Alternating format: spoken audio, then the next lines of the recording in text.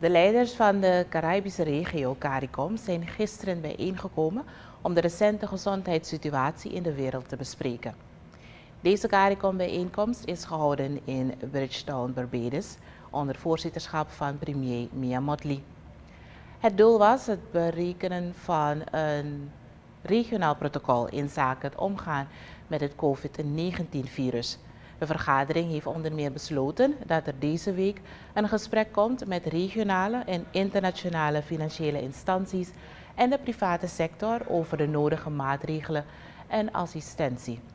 Daarnaast moet er ook samen met de regionale instantie voor rampenbeheersing, SEDEMA, en de regionale gezondheidsinstanties gewerkt worden aan scenarioplanning. De lidlanden achten het belangrijk dat de burgerij goed geïnformeerd zijn over maatregelen die zij kunnen nemen om zichzelf te beschermen. Voorts moeten de landen van de regio via een brede aanpak nagaan hoe de regionale capaciteit verhoogd kan worden.